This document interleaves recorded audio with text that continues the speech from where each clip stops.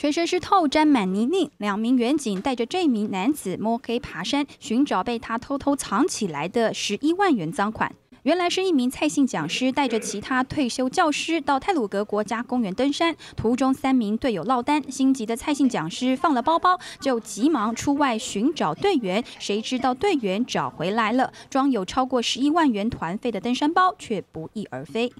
另一边，在桃园平镇的两名清洁队员搬运废弃家具时，竟意外发现八十万现金。历经好一番功夫，在警方陪同下，将现金物归原主。那经我们联系，当时请清洁队清运的周先生，周先生表示他是受另外一位施小姐所托。那我们在。经由清洁队找到这一笔八十万，然后再请施小姐从台北过来确认并清点，然后完成这一件不可能的许愿任务，以及拾金那个拾金不昧的美行。